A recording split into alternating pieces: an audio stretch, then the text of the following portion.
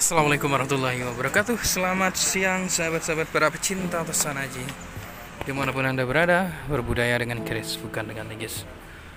Kali ini saya berada di daerah Stadion Nganjuk teman-teman.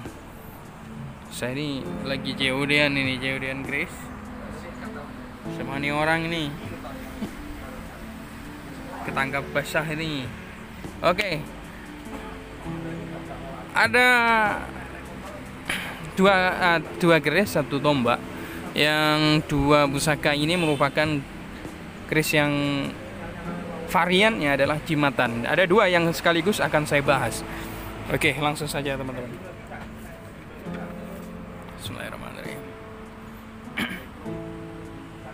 Bancian Surakarta untuk warangkanya. Warangkanya ini adalah kayu kemuning teman-teman ini dedernya ini ketinggalan ini sebetulnya. Sebetulnya masih ada. Ya masih ada. Oke. Ini pernah ditawar orang ditawar orang namun saya katakan sudah laku. Ternyata masih tertimbun pada kris-kris lainnya. Oke. Langsung saya, saya buka teman-teman. Bismillahirrahmanirrahim. Wow.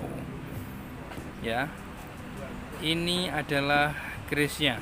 Berdapur brojol yang panjangnya kira-kira ada 15 cm ini hanya. Dan yang unik di sini adalah mengenai pamornya. Ya. Untuk pamor di sini seperti ujung gunung, teman-teman. Di sini ujung gunung ya. Dan pada bagian ini ini adalah Rojo Gundolo pada bagian sor-sorannya. Rojo Gundolo itu adalah pamor yang menyerupai dan mirip dengan sosok makhluk halus, mirip dengan sosok hewan, dan juga mirip dengan sosok manusia. Secara pada estimasi maksudnya adalah uh, aspek filosofinya bermakna bahwa dengan adanya Raja Gundolo memiliki sang pemilik dapat menghindari dari sebuah serangan-serangan goib. Ya, lebih hematnya adalah sebagai perisai diri dari serangan-serangan goib. Untuk tangguhnya ini tangguh mana kira-kira? Kalau melihat dari gestur besinya ini adalah tangguh Tuban Majapahit teman-teman Rojo Gundolo. Sebetulnya ini pernah ditawar orang, tapi karena memang ini ya apa saya katakan udah laku ternyata masih ada. Ternyata masih ada. Ini jimatan cocok untuk disimpan, cekli dan sangat-sangat mantap ini teman-teman sekalian. Oke. Lalu yang kedua adalah Nah, ini sandangan walikat namanya ini. Kayunya kayu nggak tahu nih kayu apa ini kayak kayu asem atau apa ini. Oke, langsung saja.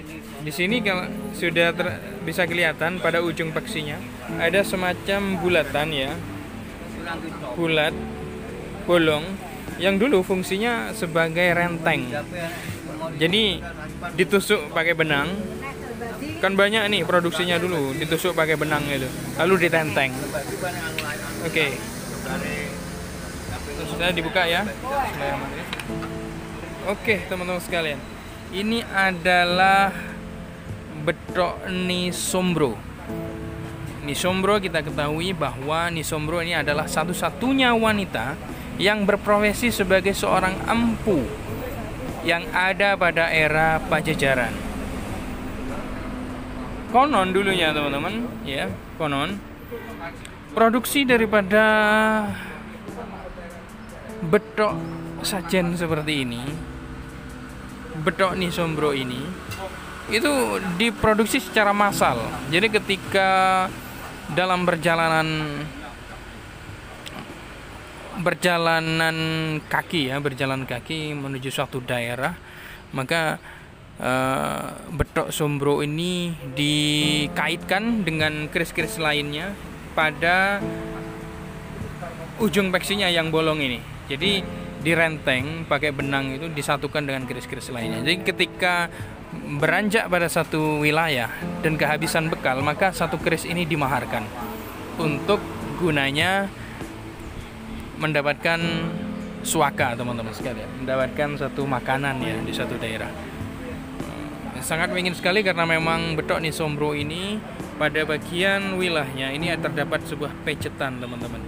Konon memang Mumpuni Sombro ini membuatnya dengan cara dipijit memakai tangan. Nah, teman-teman sekalian, terima kasih. Sedikit sekelumit pengetahuan referensi ilmu pertosan ajen di Nuswantara ini mudah-mudahan bermanfaat. Oke, wassalamualaikum warahmatullahi wabarakatuh. Salam budaya.